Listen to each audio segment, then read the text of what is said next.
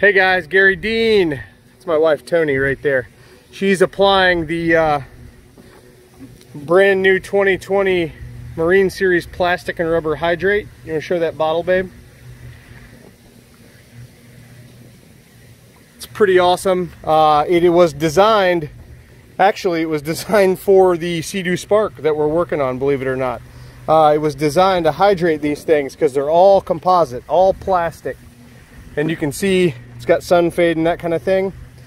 In order to do a Sea-Doo Spark properly, the first order of business is to use my Marine Series heavy duty all-in-one vessel cleaner, uh, which I have over on the dock over there. Uh, we cleaned it with that and basically you spray it on, wipe it in. You want to remove all the dirt and grime from the plastic prior to applying this stuff.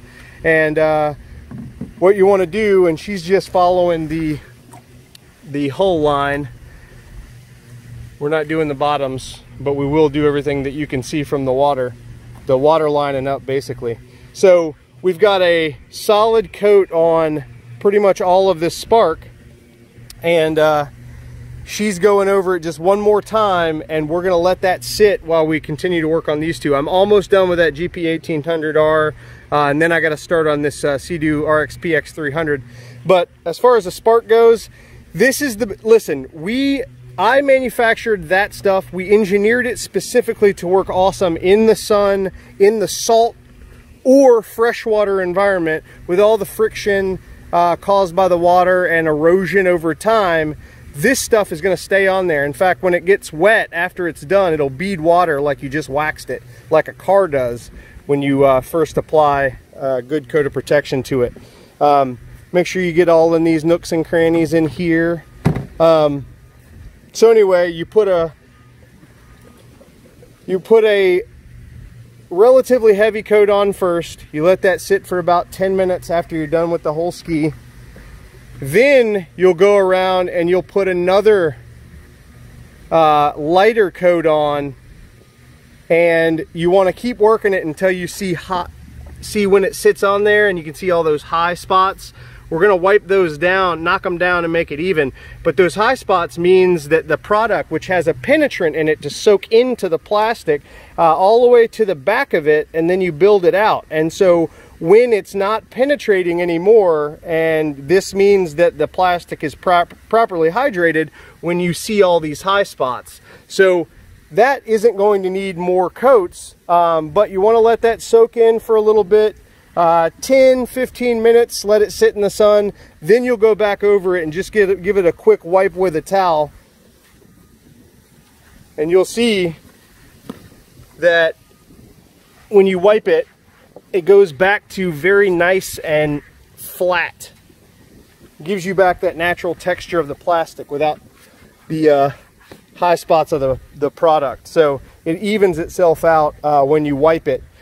But the point of this is to soak into the plastic. For 2020, this product is new because we added our Ceramacrylix technology. It was only acrylic before. So now it has our Pro Hybrid technology like our coatings do. And this would be considered a coating for your plastic. Um, it does work very well on trim on regular vehicles and that kind of thing too. Uh, but this particular product was designed for the marine environment to be around all the friction and erosion caused by constant contact with water. So check it out, detailjuice.com. That is by far the best way to care for your spark. No other products are needed besides the Marine Series heavy duty all-in-one vessel cleaner to clean the plastic and then you'll use the plastic and rubber hydrate to uh, coat it and you are good to go. So once we're finished with this, I'll give you a walk around of the Sea-Doo Spark. But this is a 2014, guys.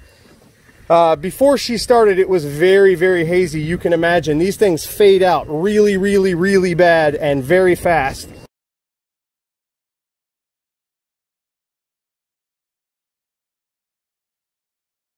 Uh, and that's just the sun taking out all the moisture from the plastic, so we have to rehydrate it. And uh, there is uh, a, a, darker blue color, which does definitely tint it a little bit. Um, but that's where we're at, guys. I'm gonna keep working on the other skis and we'll get back to the Sea-Doo Spark because I want to I want you guys to see how fantastic this thing looks when it's all done. All right, I'm gonna shoot the rest of this Spark video. So this thing was cleaned with my Marine Series heavy duty all-in-one vessel cleaner. That will remove all the dirt and anything out of the plastic. It'll also leave a primer down to allow the rubber and plastic hydrate from my Marine Series to penetrate. Now the 2020 and moving forward, plastic and rubber hydrate has my Ceramacrylix technology. So it's not only acrylic anymore, it is far better than ever before. Um, you'll notice this spark looks deep and dark and rich like it's supposed to. It's nice and hydrated. I knocked down, we knocked down a lot of the bulk of the um, the actual plastic and rubber hydrate coating. Um, but because it sits here in the sun, you don't want to take too much off. You just want to remove enough to where it doesn't look patchy. And so that's kind of where we're at now is it looks great. so we applied my Marine Series weather resistant vinyl protectant to the seat. And then, like I said, the heavy duty all-in-one vessel cleaner to clean everything, including the seat. Uh, that seat, because it's white, we could have used my mold remover from the Marine Series, but we didn't need to. It, it looks amazing, and so does the uh, handlebars. So the combo of the heavy duty all-in-one vessel cleaner and the Marine Series plastic and rubber hydrate on this thing made it look amazing. It was really faded and gross whenever it was before we started detailing it and now it looks awesome. So you can find that plastic and rubber hydrate as well as the heavy duty all-in-one vessel cleaner and the Marine Series uh, weather resistant vinyl protectant on detailjuice.com. So if you got questions for me about the products, just reach out 813-846-4406. I am Garry Dean, the owner and operator of Garry Dean Detailing and detailjuice.com. So I'm more than happy to help you with any questions that you have.